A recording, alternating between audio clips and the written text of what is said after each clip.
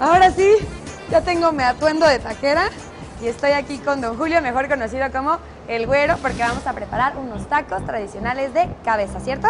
Claro que sí, amigo. Ok, ¿qué es lo que tenemos aquí y por qué está todo en bolsa? Ok, es que le ponen la bolsa para que no le entre el polvo. Esta es cabeza de res, ¿sí? Aquí manejamos todo lo que es lengua, ojo, maciza, seso, surtido, cachete y trompa. El ojo, a ver, Sí. un ojo. A ver, permítame. Mire, este es un ojo.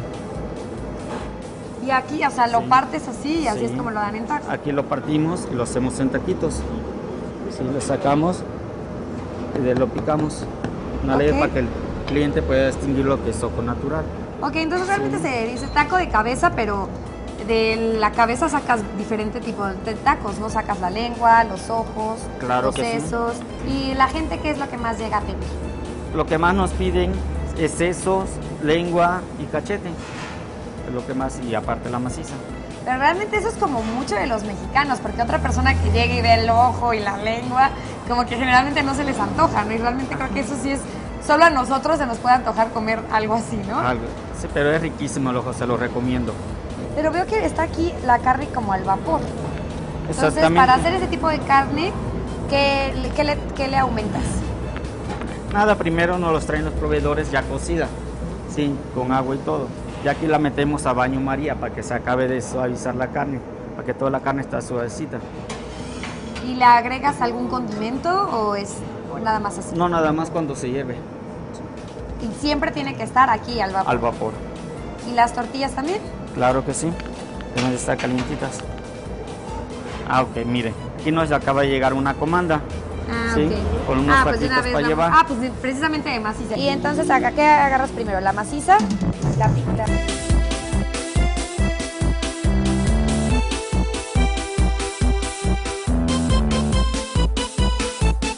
Un poquito más. ¿Un poquito Sí, más? más generosa. Sí, ¿verdad? Sí. Ahora se pica un poquito. ¿Y cómo es? Nada más así, como yo quiero. Un poquito suavecito. Ah, Pero la tienes que Ajá, no, cortar así o más. directamente así. Así. Ajá, Exactamente. Ahí.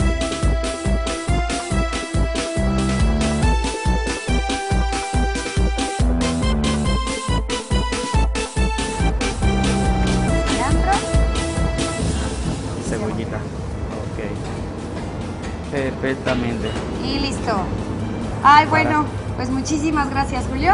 Al contrario. Te dejo seguir trabajando con Claro la que sí. ¿De quién son los tacos de maciza? Ah, yo les hice estar muy buenos, ¿eh? En esta ocasión, desafortunadamente, no pudimos conocer el secreto del adobo, pero sí otros tips, como por ejemplo, las tortillas tienen que tener un poquito de manteca y también tienen que estar calentadas al vapor. En, esta taquería, la carne la ponen un poquito a la plancha para que tome más sabor. Pero ahora sí, mejor me voy a poner a comérmelos ya que mis tacos están enfriando un poco. En este lado tengo las salsas con las que se acompañan. Vamos a ponerle un poquito de limón para que le dé un poco de más sabor.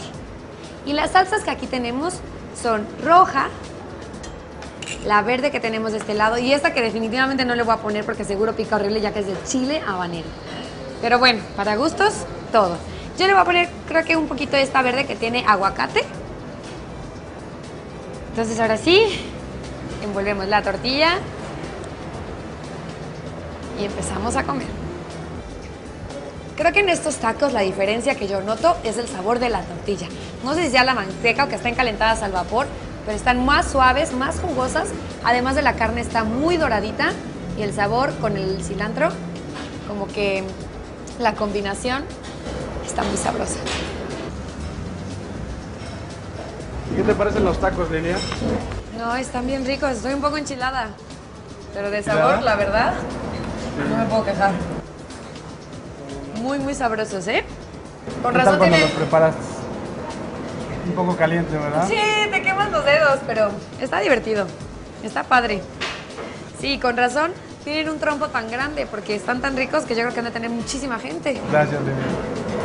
Bueno, yo voy a seguirme comiendo acá porque todavía me faltan un par de tacos más. Gracias, provecho. ¿eh? Bueno, ahora sí ya estoy contenta porque me he comido unos deliciosos tacos. Pero tengo que dejar espacio en mi estómago, ya que mi comida del día de hoy aún no termina. Adiós, Juan.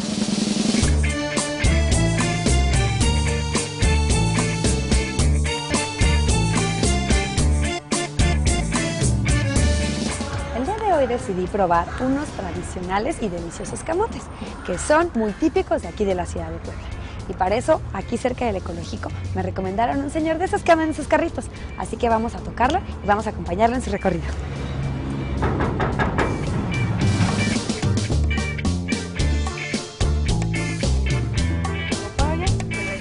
Bueno, creo que llegué un poco tarde y ya me ganó, pero pues voy a tratar de alcanzarlo, así que voy a darme prisa.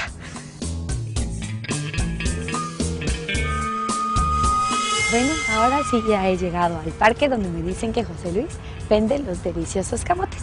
Así que vamos a acercarnos y preguntarles cómo va hasta el momento la venta del día de hoy. Hola José Luis, ¿qué tal? ¿Cómo estás? muchísimo gusto. José Luis Cosme, sí. Me mandaron aquí porque me dijeron que tú haces camotes. Claro, señorita. Pero ahorita veo que ya los estás vendiendo, ¿verdad? Ya, ya, nos toca ir a la chambita. ¿Ya? ¿Y siempre vienes acompañado? ¿Es tu hijo? Eh, es mi nieto. Ah, ¿qué tal? Sí, Allá entonces ya van varias generaciones. Ya, ahorita este ya está aprendiendo. Ya para más adelante le gusta o agarra su carrera. Ah. Elige lo que quieres ver. Canal Puebla.